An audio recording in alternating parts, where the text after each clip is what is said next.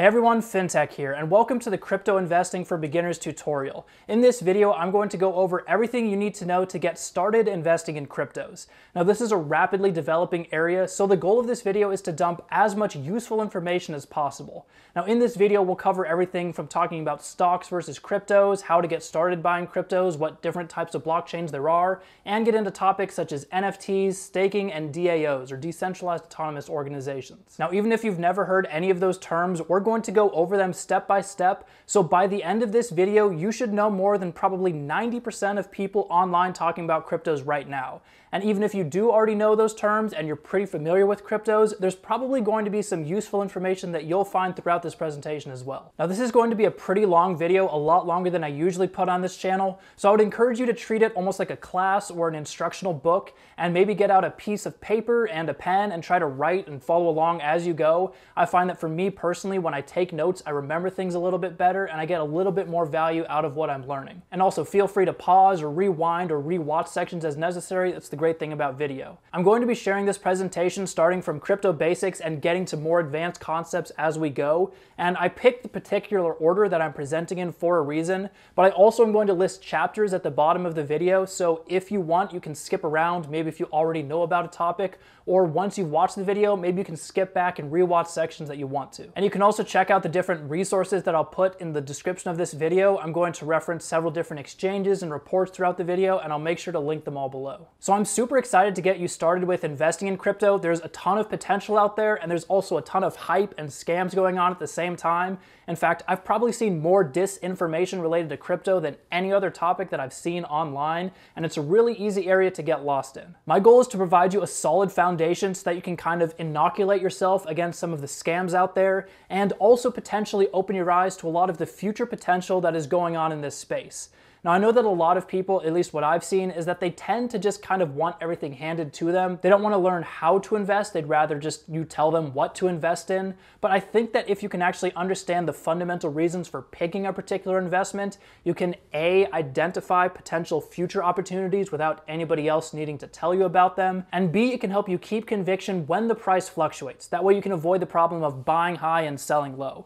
And just the fact that you're watching this video and you're willing to educate yourself on this topic speaks really well, and this information should hopefully help you and serve you for decades even to come. All right, so a couple quick notes before we get started. First of all, watch for scams in the comments. I can almost guarantee on a video about crypto, there's going to be a bunch of people talking about Mr. Roberts and how they made them a bunch of money. It's all scams. I'm not trying to sell anything here. I'm just trying to provide as much value as possible. Now, also, we need to note that I am not a financial advisor. I'm just a guy making videos online, and I'm just giving you my experience with crypto so far and trying to provide sort of a framework that you can build on top of yourself later. Lastly, go ahead and hit the like button if you want, and let's get started.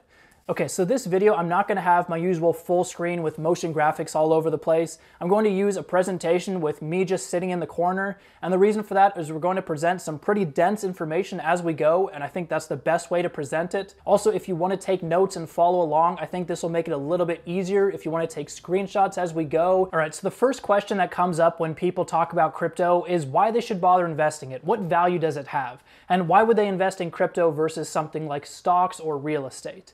Well, the first way that we can kind of talk about the value of crypto is as a store of value. Now, this is used a lot when talking about Bitcoin specifically, where people compare it to gold.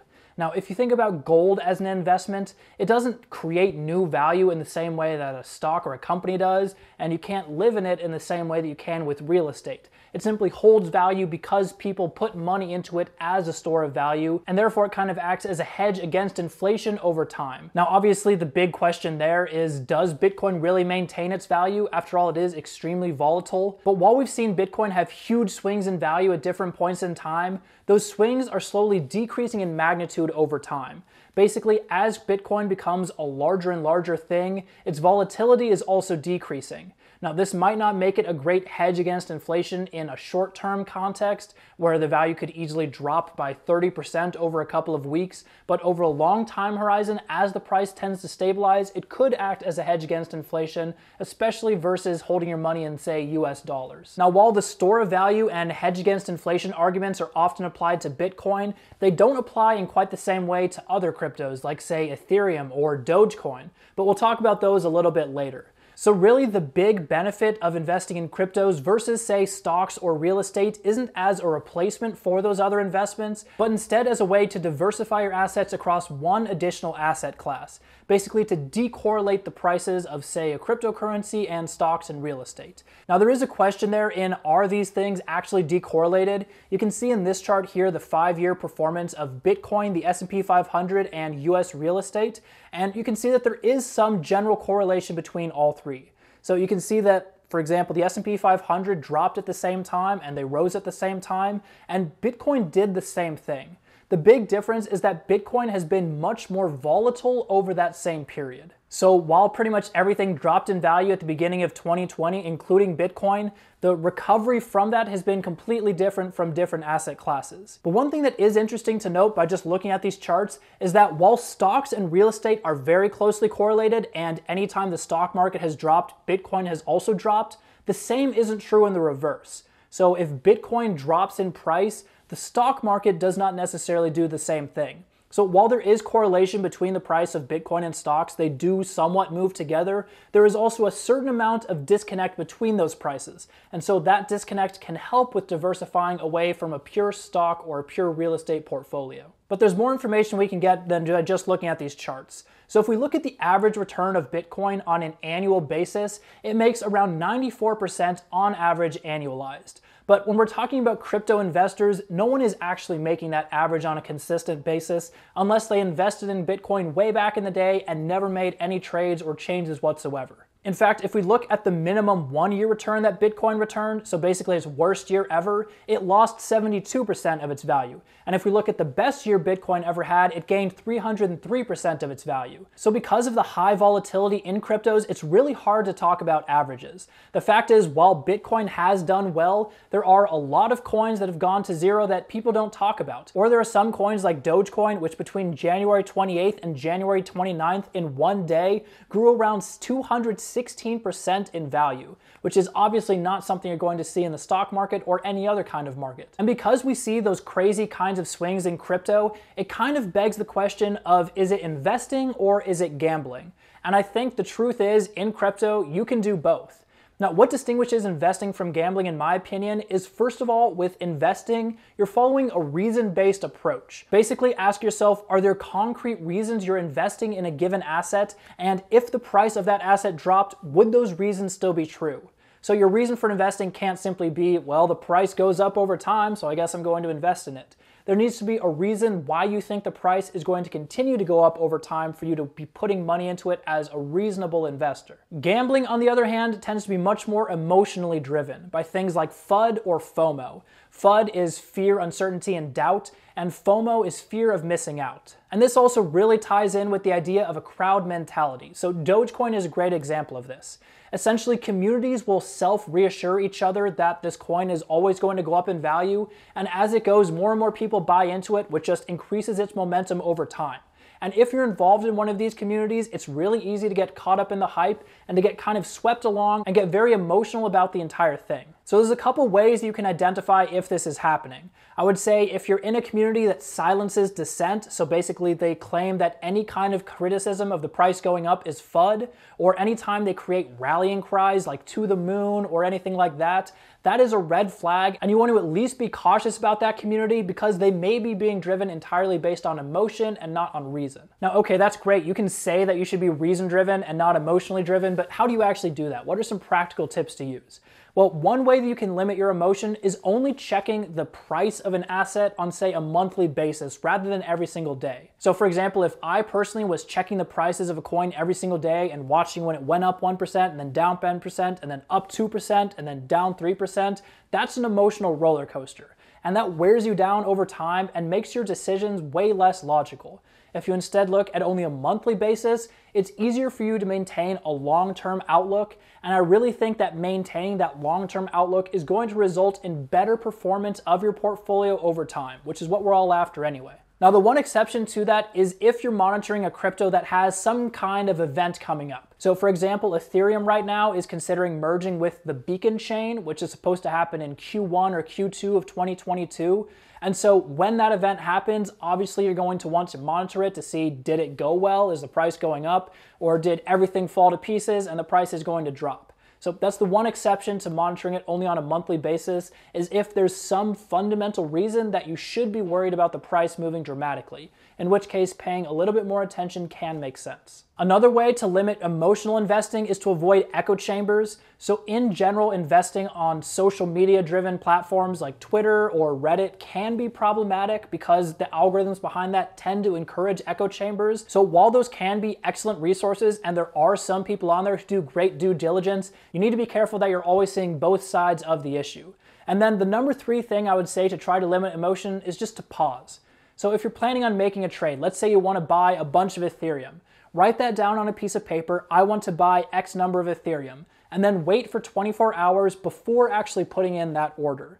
That way, during that pause, you can really determine is this something I actually want to do, or is this just an impulse in the moment? Now, the last thing we need to talk about when talking about investing versus gambling is the Dunning Kruger effect. The Dunning Kruger effect is where people with limited knowledge tend to overestimate their knowledge. Now, the problem with this is it can result in you taking on greater risks than you would otherwise because you think you know all the downsides even though you don't. So, really, the only solution to this is to always try to stay humble and always assume you could be wrong about any given investment. And also remember that this also applies to other people who appear confident online. But now that we've gotten a lot of the discussion around cryptocurrencies out of the way, let's get to the core issue, which is what is an actual cryptocurrency?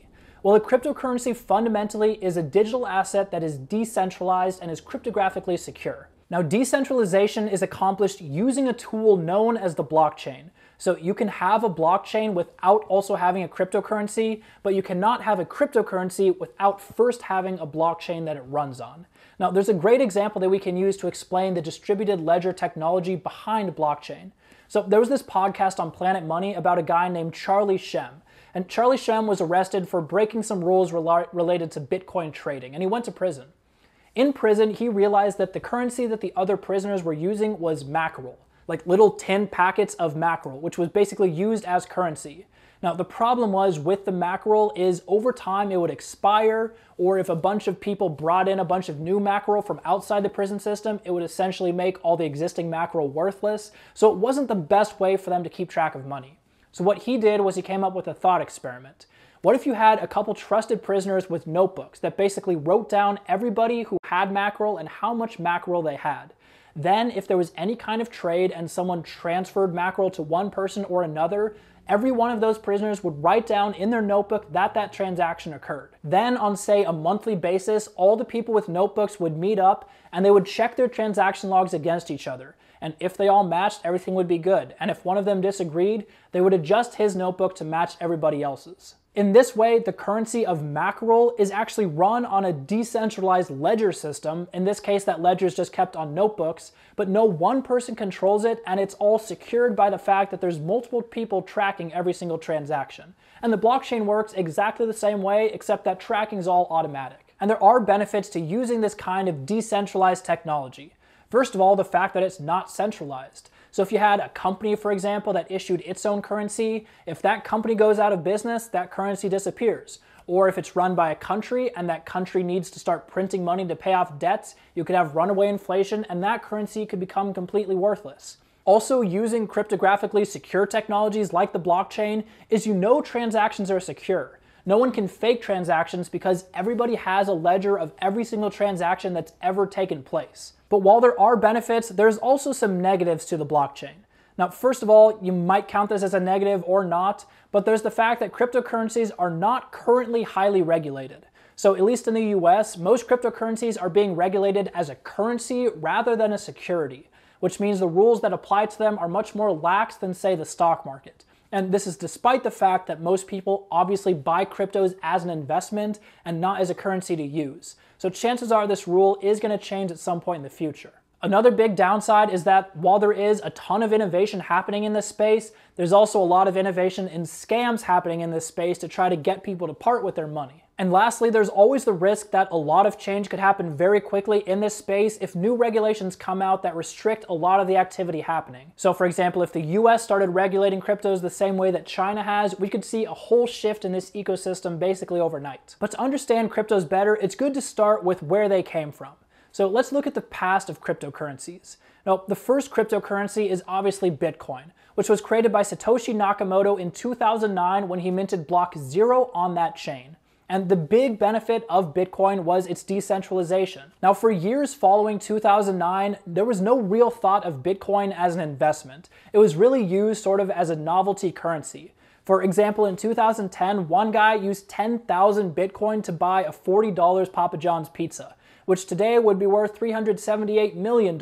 And the Bitcoin community kind of continued on like that. It was a small but dedicated community until in 2017, the price absolutely blew up. Pretty much overnight, everybody was talking about Bitcoin. Everybody and their cousin was issuing a new ICO or initial coin offering, trying to take advantage of the hype. And in this environment, a ton more people got onto Bitcoin. But at that point, there were too many users, the transactions were way too expensive and way too slow to continue using it as a currency, and it was just really terrible for the environment. Now, the thing is, Bitcoin uses something known as proof of work to validate all of its transactions. Now, I mentioned earlier that Bitcoin uses a distributed ledger system to keep track of all the transactions on the chain. But what's to prevent someone from just making a whole bunch of computers to write fake transactions all at the same time? enough that they own more than 50% of the computers on the chain and they can basically make up transactions. Well, the way Bitcoin avoided this is using something called proof of work, where essentially to mine new blocks on the chain, you would have to use huge amounts of computing power. This basically meant that no one person could ever have the economic resources to mine enough Bitcoin to compete with everybody else combined. And because no one could ever gain 50% of the computing power behind Bitcoin, it meant the transactions couldn't be faked by an individual. But while this is a good solution to making sure that the transactions are correct, it also results in ridiculous amounts of wasted energy because there's a ton of different people solving every single block, doing basically pointless calculations just for the sake of saying that they can do them. Now, there have been theories put out there to try to solve this ridiculous use of energy, like proof of stake, which we will talk about later, but essentially, the success of Bitcoin spawned a million new coins, partly as a result of Bitcoin's success and the desire to get financial success, as well as to try to solve some of the technical issues that existed with Bitcoin. Which leads us into the current state of cryptos today. Right now, Bitcoin is the largest cryptocurrency in the world. In fact, its market cap is just over double the size of the number two crypto, which is Ethereum. Now, Ethereum was launched by Vitalik Buterin and a team of developers, and what it did was actually expand onto the capabilities available with Bitcoin, adding in functionality such as smart contracts and decentralized apps, or dApps. And these enabled new technologies such as NFTs and DAOs, which we'll talk about a little bit later. These new innovations have absolutely exploded in this most recent cycle of renewed interest in cryptocurrencies, and Ethereum has actually beat out Bitcoin in terms of the rise in its price over the last two years. Now, even though Ethereum is introducing a lot of new innovations, there are still some problems with it. Number one, its cost of transactions is still way too high to use as a currency, which is the same problem we've had with Ethereum. And so to deal with that, there's been the advent of these new coins called stable coins. For example, Tether and USDC, which are actually pegged to the US dollar. So these coins are supposedly backed one to one by a US dollar. Now, despite that, there are some questions around how true this actually is, especially for Tether. They claim they have $1 in reserve for every coin that they mint, but there was this great breakdown by CoffeeZilla where he explained some of the somewhat shady practices that were going on at Tether. So there is some question around that. And in addition to these stablecoins, we also have altcoins, which is basically everything else. Now, an altcoin like Cardano or Polkadot or Solana usually introduces some new technology that neither Bitcoin nor Ethereum already has. Or some, like Dogecoin, exist purely to make money. But many of them do have specialized use cases, and a lot of them introduce new technologies, such as to improve the speed of the network, or to add new features or allow running more complex programs on top of the blockchain. So, for example, one of the ways they do this is through proof of stake which is a concept that Ethereum's been working on for a while, but plans to launch in full for its blockchain in 2022. Proof of stake is a consensus mechanism, just like Bitcoin's proof of work that we talked about earlier. Now, like I mentioned earlier, the goal of consensus mechanisms is to make sure that no one individual or group of individuals can get powerful enough to control 50% or more of the network, which would allow them to fake transactions. Now, Bitcoin did this using computing power, but what Ethereum wants to do is do the same thing by staking the actual ownership in Ethereum. So basically, they're betting that no individual would ever own 50% of the Ether tokens, which probably makes sense. This would reduce all the issues with the huge environmental costs of running complex calculations just for the sake of doing work, and it would potentially make the network much more efficient in the future. But again, that isn't actually launched yet on Ethereum, though it has launched on some of these altcoins, which is one of the reasons that they're so popular. But while some altcoins are introducing new innovative technologies, you can't deny the fact that a lot of altcoins are just plain scams. There are a lot of small market cap coins that try to just build up a bunch of hype, get the price to go higher, and then they basically pump and dump it and then sell out everything they have. The price crashes to zero, and you never hear from the developers again. So, altcoins, while they do have a lot of potential, are also even more risky than the larger cryptos like Bitcoin and Ethereum. But now let's get into ways that you can actually buy crypto today. Now, there's basically two ways that you can hold crypto. You can either do it in a wallet or you can do it with an exchange. Now, all crypto in the world is stored in some kind of wallet, which is essentially a public key where people can send you crypto, which acts kind of like an address so they know where it goes, and then a private key, which actually acts like the key that unlocks your wallet.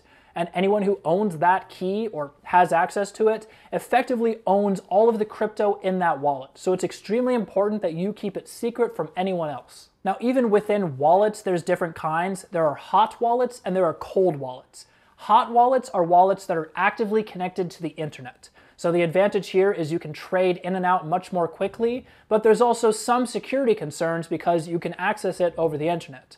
On the other hand, you have cold wallets, which are completely air gapped and disconnected from the internet. There's actually two major kinds of cold wallets. Uh, one is a hardware wallet, which is a physical device, kind of like a flash drive, or you can use a paper wallet, which is literally writing down your public key and your private key on a piece of paper. That way, no one can ever access it via some kind of internet hack. Now, exchanges, on the other hand, are different from wallets. Exchanges will hold your crypto for you, basically using a wallet of their own that you don't have access to. So they, from a crypto sense, technically control all of your crypto. And you just have to trust the company enough that they're not going to run away with it, which is why some crypto hardcore enthusiasts are not a fan of exchanges. At the same time, exchanges make it even easier than a hot wallet to buy in and out of cryptos very quickly, so they've become extremely popular in recent years. But in terms of wallets you can use, if you want a hardware cold wallet, so completely disconnected from the internet, one you can use is the Ledger Nano X, which is a very popular option. Another option you could use is Coinbase Wallet. Coinbase Wallet is really good for beginners and it has a mobile app that goes with it that makes it really easy to use. And this is an example of a hot wallet. So it is connected to the internet, but you still own all the crypto inside of it. Aside from that, we also have Exodus, which is a desktop based wallet. And there's also MetaMask, which is a crypto wallet and can also exchange coins and other tokens for NFTs. And this was designed specifically for the Ethereum ecosystem. And then, in addition to all those wallets, you also have the big exchanges. You have Coinbase, which is the largest crypto exchange in the US, and it's really good for US specific customers. They even generate your IRS tax documents for you. You have Kraken, which is really good for staking. They have a lot of offers for paying you interest on your actual tokens. You have Gemini, which was actually started by the Winklevoss twins, who you may remember from the Social Network movie, uh, the guys who originally started Facebook before Mark Zuckerberg came into the picture. You have Voyager, which has a really good mobile app and has better staking than Coinbase. And you have Binance.us, which is very full featured, but you need an identity verification to use it. So I keep getting rejected. I actually haven't been able to create a Binance.us account yet. And Binance also offers the ability to loan them crypto in exchange for interest rates that they'll pay you. Basically, you lock up crypto with them and they'll pay you interest for doing so. And we'll talk about that a lot more during the passive investing section of this video. But if you don't live in the US, there's also some good international options. Now, the wallets are essentially the same because decentralization, the whole point is it's not centralized to one country. So there you go, you can use all the same wallets. But in terms of exchanges, there's a little bit of difference. Binance is actually a lot more useful outside the US than inside because there's less regulation and there's different staking rewards. In fact, Binance offers over 500 different cryptos that you can buy and sell, while in the US, there's only 53 cryptos that you can use. Coinbase is still a good option outside the US as well as in the US. Crypto.com is a good option outside the US. Now, this one is not available in New York State, and they offer 100 coins internationally, but there's 40 fewer of those available in the US, and an additional 35 of them are only available in some US states. And overall, Crypto.com works better as a bank than an exchange, at least in the US. And then last up, you have Kraken, which also works very well internationally as well as in the US. So, okay, you understand where you can buy cryptos, you kind of understand what the current state of the market is, but how can you actually make money with cryptos? Well, there's a couple different ways you can do it. So let's first just walk through the different options there are for making money, and then in some later slides, we'll dive in more detail to each one. So first up, you have staking, which is essentially where you leave tokens with an exchange or with a specific network, and in exchange, you receive some kind of interest back. Number two is price appreciation, which the value of the coin just goes up. That's probably the one you're most familiar with. You also have mining or validating. So with Bitcoin specifically, this is the reward that you get for doing proof of work and actually mining new blocks. Now mining is very expensive because you have to pay for the electricity to run some kind of mining rig. You usually have to buy some kind of specialized hardware to actually do the mining, and the rewards paid out decrease over time as the network gets bigger and bigger. For Bitcoin mining specifically, there are very specialized rigs that have very different profitabilities you can buy. Right now, I'm showing a website which estimates how much money you'd make from each different rig. I probably won't be going into any more detail than that on here, since personally, I'm not a huge fan of Bitcoin mining and the amount of waste that it produces, but there's a resource you could use. Outside of mining, some other networks that use, for example, proof of stake still use validators, where again you have to use some kind of specialized hardware and usually need a certain amount of technical knowledge, but then you'll actually validate transactions on the network and get paid for that. And then the last option is essentially minting assets, so creating new NFTs. Now, I made a whole video on doing that myself using Jack Dorsey's tweet, which he previously sold for $2.9 million. And there's a ton of hype in the NFT area, starting with when Beeple sold his picture for $69 million. The overly attached girlfriend NFT, for example, sold for 11 for $411,000 and a whole bunch of different people basically profited off of memes in this space. Now, I'm not saying that you're going to make that kind of money selling NFTs, but there is the potential to make money there. So basically the rest of this video is going to be focused on these different ways of making money with crypto. So first off, you have staking. Now, all those different exchanges I showed you earlier, one way to determine which one you want to use is based on which one will pay out the highest interest rate for you keeping your tokens with them. So for some people who just want to invest completely passively in cryptos, it's a reasonable strategy to buy a bunch of cryptos, put them in an exchange that will pay out an interest rate like say Kraken or Voyager, and then just let them sit there and let them slowly accumulate in value over time. But if you're a more active investor, you might care less about the staking rewards and care more about the UI and usability of the exchange as well as the speed of information that they get to you. Now, when talking about staking, the first thing we need to do is differentiate it from proof of stake. Now, proof of stake is a consensus mechanism that secures the chain by staking your tokens with a validator. And basically, the validator uses your tokens to vote for what transactions they think should go through. Now, for the most part, most individuals don't have enough money to act as a validator themselves, so they'll tend to pool a whole bunch of different people's stake together into staking pools and then use that to support a validator. And you could do that by just getting a bunch of your friends together, but the more common way is to go through an exchange. Now, the other weird thing here is that staking can mean slightly different things on different networks, but generally it means leaving a large enough number of a given crypto's tokens with an exchange for them to pay out some kind of return. So for example, to stake Polkadot on Voyager, you'll need 20 tokens staked and then they'll give you 12% back.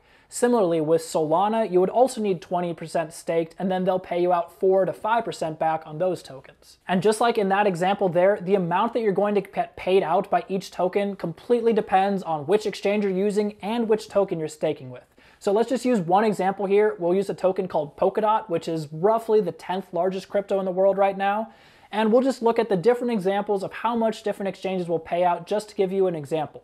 If there's one specific crypto that you're interested in, you can look up all these numbers for that crypto as well. So there's two basic ways I could stake Polkadot. I could either do it myself by keeping custody of the tokens, or I can give away custody of those tokens to an exchange. Now, as we can see right here, Binance will let you lock up your tokens for 30 to 90 days and will pay out between 11.5% and 16.5% for your tokens. The only problem is there's a limited number of tokens you're allowed to put with them, and you have to lock those tokens up for a given amount of time in order to get that interest back, which for some people might not be a trade they're willing to make. Below that, you have Kraken, which is going to pay you out 12% on your tokens on a yearly basis. And then below that, we have Voyager, where if you have at least 20 Polkadot with them, they'll also pay you out 12%. And all those are examples where you will lose custody of your tokens once you send it to them. Now, the other option, if you want to keep custody, is an option like Ledger Live, where if you lock the tokens for 28 days, they'll pay out a 13.5% rate, or Polkadot JS, where again, your tokens are locked for at least 28 days, but you'll get 13.5%.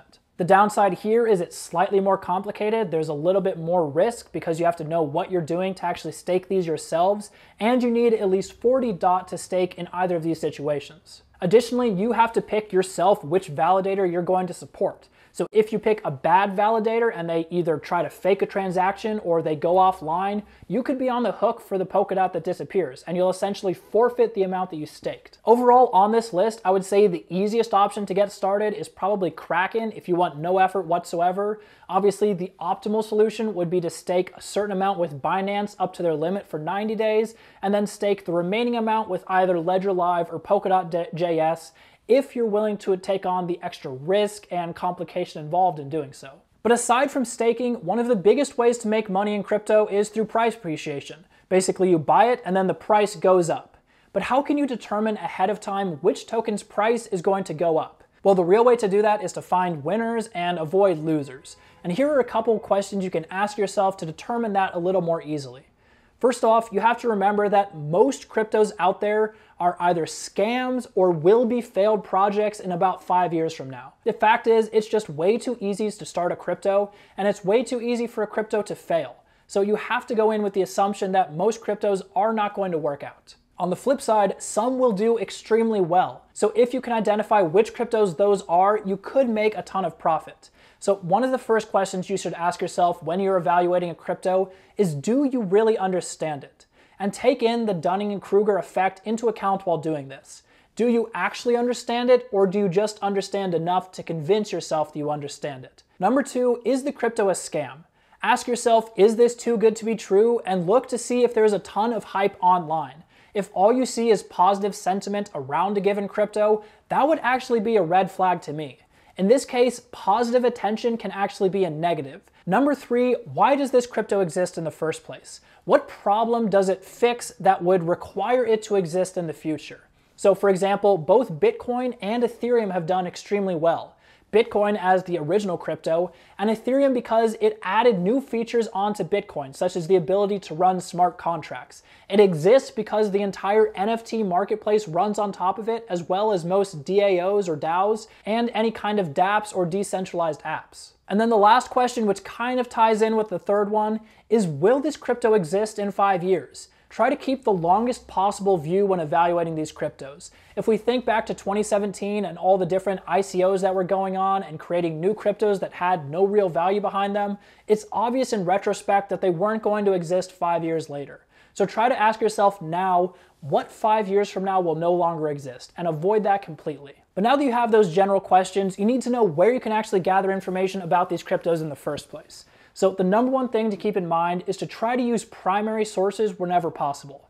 Now, a primary source would be a website that is at least run by the community. So an example of this would be ethereum.org or polkadot.network or solana.com. These are all websites that are putting out information directly from the community or the developers behind the crypto. And so if you trust those developers at all, you can trust the information that they're putting out. Now, there is the quick caveat there that this is good for legitimate tokens, but if something is a complete scam, obviously their developers are going to put out positive information. So as long as you're confident it's not a scam, this could be a good option. Now, after that, you can look into white papers. Now, white papers are generally issued when a new blockchain network is created. And you would be surprised that a lot of these white papers are actually pretty readable. Now, there are certain parts of it that can get pretty complicated and technical, and if you don't have a strong computer science or mathematics background, it might go over your head, and that's fine. In that case, another option you can do is look up white paper breakdowns. There are people who make videos on YouTube breaking down what a white paper actually says. You can find articles online that explain white papers in words that are easier for you to understand. But it's important for you to know what is in that white paper because that white paper represents what the network actually is, what their goals are, and what it's going to look like in the future. And then outside of those two sources, there's a couple other websites where you can find pretty good information. One of them is Coindesk.com, which is the closest thing I've seen to kind of classic journalism in crypto. They cite a lot of sources, they link to a lot of external websites, and they're pretty good about being factual and not being overly hypey or overly pessimistic about any of their stories. Number two is Crypto Slate which also has really good articles, although they tend to slant a little bullish on crypto in general. But I mean, that makes sense. That's just the author's perspective. So the information there I have found is pretty good. Number three is Discord. Now, a lot of crypto news is disseminated through Discord right now, a lot of it in private or a mix of private and public Discord channels. So if you really want super up-to-date news, there is a lot of information in those channels, but fair warning, once you join a single Discord channel for a crypto, there are pretty much going to be a bunch of bots that are going to go through and spam you with new channels to join for a bunch of scams. So if you're going to look into this, maybe create a separate Discord account and try to avoid getting sucked into the black hole of scams and the murky underworld of Discord crypto. And then the last source that I use for all kinds of tokenomics is coinmarketcap.com. Now, CoinMarketCap.com is going to give you things like how large the market cap is, what the current price is, what the volume trading is, and I've found the information there is pretty good. But speaking of CoinMarketCap, the real reason you need those numbers in the first place is tokenomics. Now, tokenomics is essentially the economics of how tokens behave. And I know it's a bit of a cringy name, but that's what people actually call it in the community. Now, there's a few key ideas that you need to understand in tokenomics in order to understand what people are talking about with cryptos. Now, the first concept is market cap, which is analogous to stocks, and yet in cryptos, people can still get confused here. So we're gonna go through this slowly, and this might be a section where it'll be good to go back and rewatch sections or write down notes as we go. So first off, we're going to use coinmarketcap.com for all of this. So in order to calculate market cap, you can take the price of the current coin and multiply it by the circulating supply, which is the number of tokens currently circulating in the public's hands. Now, some people will calculate market cap using the total supply, but this is a slightly different calculation than the one we just did. Now, total supply represents all of the tokens available for a given crypto in existence. Now, the problem with that is it also includes coins that are either reserved or locked in some way i.e., Polkadot, for example, lets you lock up your tokens for two years in order to vote for new features to add to the network, which means those tokens aren't really in the supply anymore and they're not trading back and forth between different people. In addition to that, you can also calculate the fully diluted market cap, which is the max total possible supply of the tokens multiplied by the price. So for example, with Bitcoin, we know that in total there will only ever be 21 million Bitcoin in existence. Right now, we only have around 19 million, and they're going to generate more and more every year until we hit that 20 million number. So you have those three different market caps. You have market cap based on circulating supply, total supply, and max supply. And I think circulating supply is the most useful. Now, it's important to note that market cap does not represent the total amount of money invested in a crypto. You can think about it this way. If there's only two people buying a crypto, let's say I buy one token for $1 and then another person buys the second token for $2. Well, the market cap is going to be calculated based on that $2 they put in. So they're going to see that there's two tokens in existence. The most recent price was $2.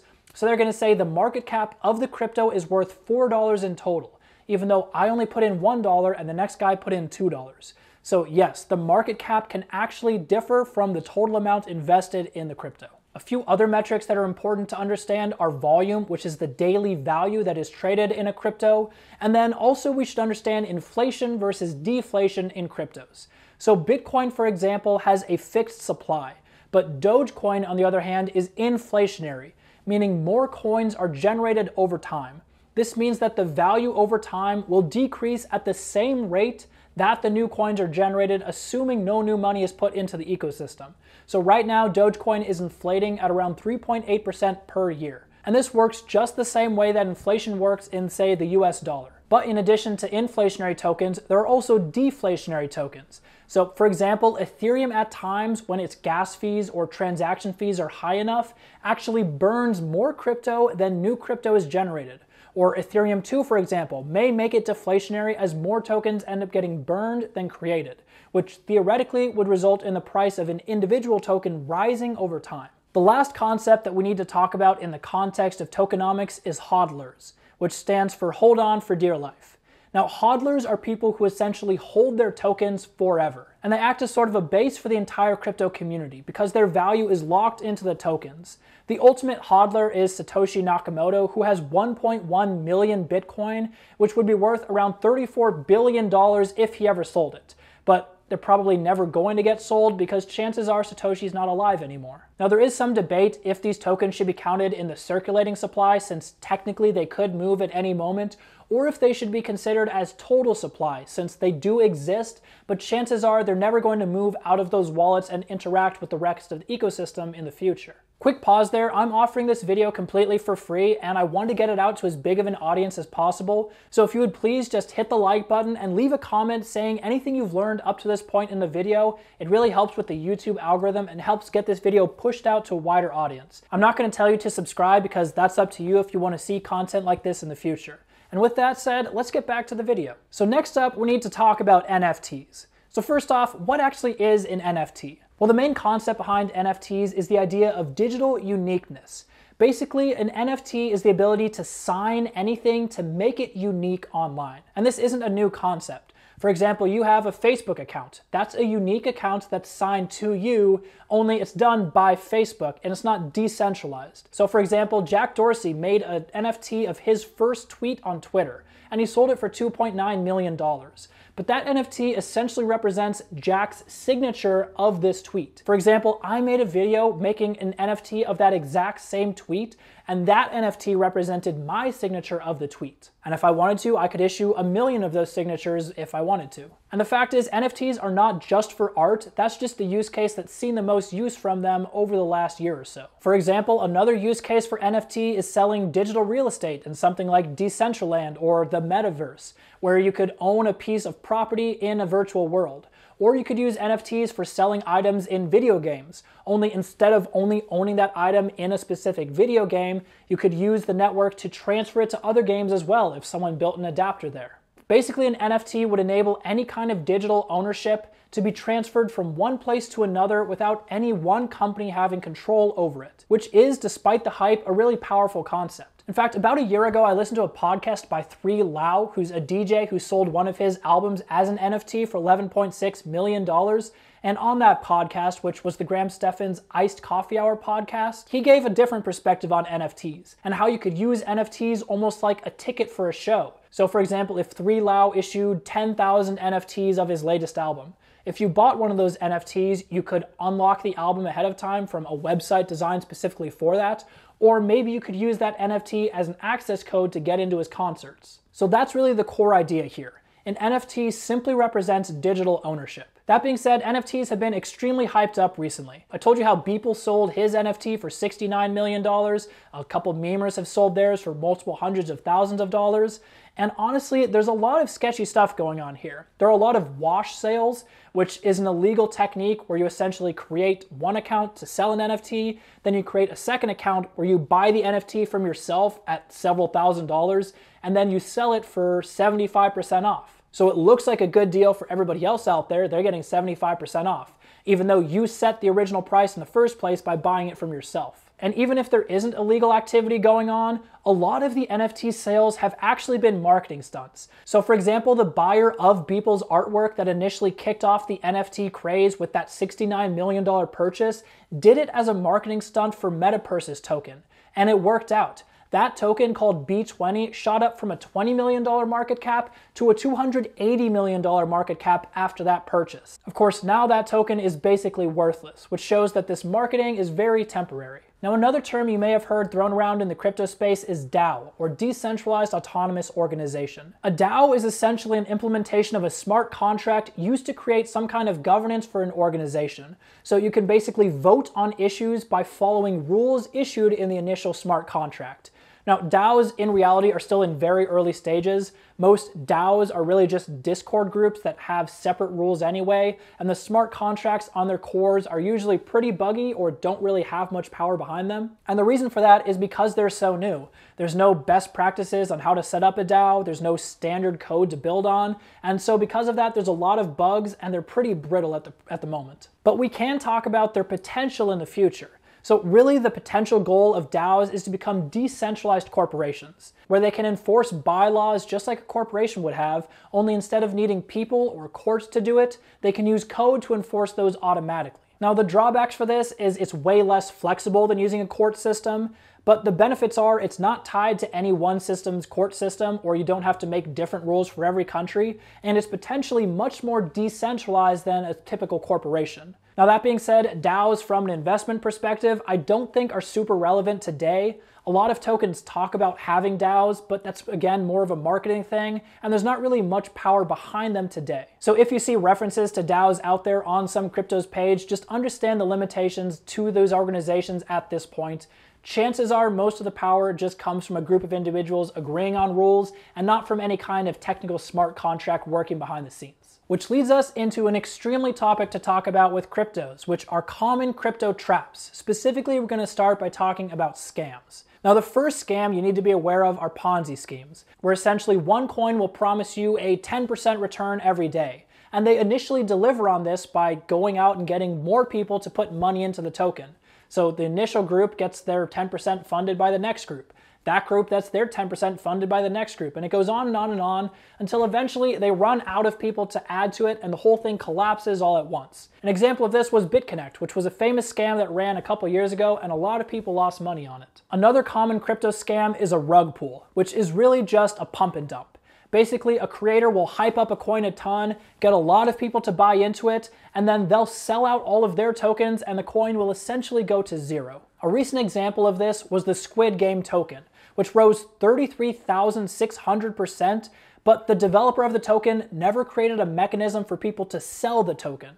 So essentially, they disappeared overnight, along with the money from 43,000 investors in the token. The next scam are wash trades, which I talked about before, which is essentially where you buy an asset at a higher price with the intention of creating artificial value and then sell it off to someone else who thinks they're getting a good deal, even though there was never any value behind it in the first place. The next scam is phishing, which is a scam that's existed in emails for a very long time, where people try to steal your private key and get access to your wallet. Similarly, there's also link swapping, where a legitimate transaction with someone goes through, but then at the last moment, they send you a bad link where when you click on it, they'll steal your key again. The thing is, crypto is only secure on the network. The endpoints, which is basically you, are still very vulnerable to attack, and the easiest point to attack on that entire chain is the initial person making a purchase. And the last scam is insider trading pretty much any stock manipulation technique that has existed over the years but is now illegal is pretty much running rampant inside the crypto community. So, for example, insider trading right now, since cryptos are technically not a security, people can buy and sell on information that's not public. If I was a developer of a coin, I could buy a whole bunch before issuing a new feature which would cause the price to go up. It's honestly the Wild West out there right now, so be careful of all these different scams. But outside of actual scams, there are also some traps that result entirely from your own psychology. The first one is price anchoring. Price anchoring is where you buy into a crypto based on what its price has done in the past. So, for example, you look at a crypto and you see its price two months ago was twice as high as it is today. So you think, well, the price was high before, maybe it'll go back up again in the future. The problem is, if a crypto is acting as an efficient market, the market shouldn't care about where the price has been in the past. So if you're buying or selling a crypto, all you should care about is will the price go higher in the future or will it go lower? The past price really should not be relevant. The second trap is just falling in love with a given crypto. You can't become blind to the flaws in a given crypto, and you can't get so invested in a given community that you forget the fact that there are flaws in any project. For example, there's a lot of people who rode the Dogecoin hype train straight to the top and then rode it right back down to the bottom again. The next psychological trap is FOMO, or fear of missing out. This happens when you see a crypto rising in price really quickly and you see everybody else making a ton of money and you just want to get into it. So you wait and you see it go up a little more, then you wait and you see it go up a little more, then you finally buy into the hype and what do you know, the moment you buy in, the price crashes again because you were the last person sitting on the sidelines who hadn't bought in yet. FOMO falls into the category of emotionally driven decisions and can really cost you in the crypto market. Now on the flip side of that, there's also FUD, which stands for fear, uncertainty, and doubt. Now, it's good to be cautious. In fact, I would say it's better to be overly cautious than to get involved in hype. But at the same time, you shouldn't let fear drive all of your decisions. The question you should be asking yourself is Will this be worth more in five years? Even if the price is dropping today, if you think it will be worth more in the future, it makes sense to hold on to the coin. Don't succumb to fear unless you have a good reason for selling out of the coin. The next potential trap is our good friend Dunning Kruger. It's a huge factor in crypto that you have to know what you don't know. Yes, you might not know everything about a given crypto. You might not understand all the technical specifications, but at least understand the fact that there's areas you don't know. It's important to keep on learning, but stay humble. It's important to accept new information when it's presented to you. And it's important to never assume you're an expert. Because the fact is, if you are an expert in a given area, you'll be aware of the limitations of your own knowledge. And then the last common psychological trap is action bias. Now, all humans are inherently biased toward taking action versus not taking action. So let's say you had 100% of your money invested in Bitcoin in 2017 and you saw the price go way down, then you saw it come way back up.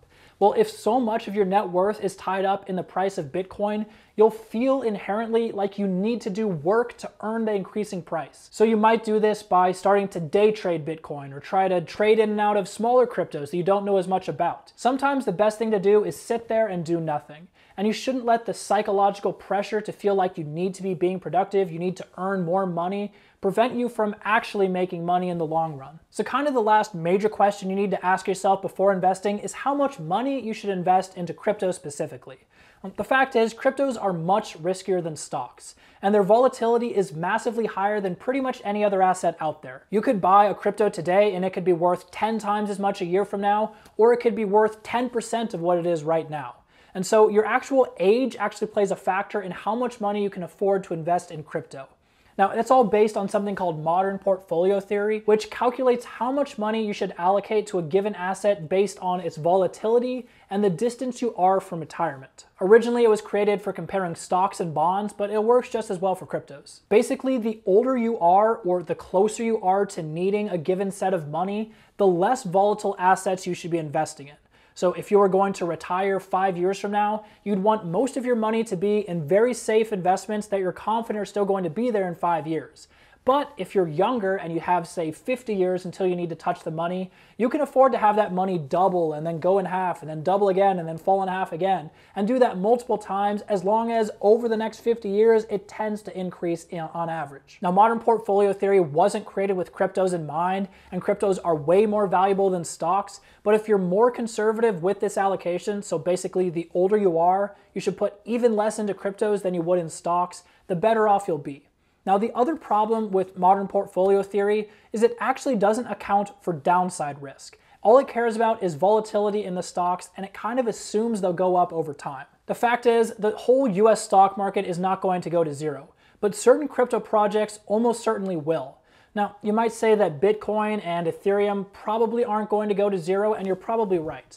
But the fact is, the local government that you're under could outlaw it, or regulations around, say, energy use for mining could impact the price, or the market could just panic and sell off for a five year period. So I'll tell you what my plan is for allocating crypto. Basically, I'm only going to invest what I can afford to lose. Now, yeah, I know that I'm probably not going to lose everything, but there is a chance that that could happen. So for me, that's really anywhere from a 3 to 10% allocation is what I would be comfortable losing. Now, it's on the higher side right now while I'm young because I have money actively coming in. I'm not planning on needing that money in the near future. I'm not going to retire for quite a long time, so I can afford to lose more.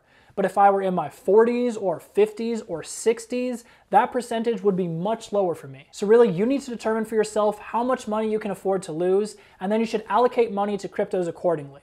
And I also think that your crypto allocation should be smaller than the amount you have allocated to stocks. But the last topic we need to talk about here are investment taxes. Now, crypto purists are probably freaking out right now because you shouldn't have to pay taxes on something that's not part of the government. But the fact is, in most countries, you're going to be regulated in some way, and in the US, the IRS will come after you. So, everything I'm going to talk about here is from the US perspective, but it's going to have similarities to other countries as well.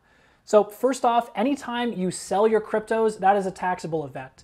Or if you transfer, say, Ethereum to a stablecoin like USDC, that is also a taxable event, which means that once you make that transfer in that calendar year, you're going to owe taxes on any gains that you've made.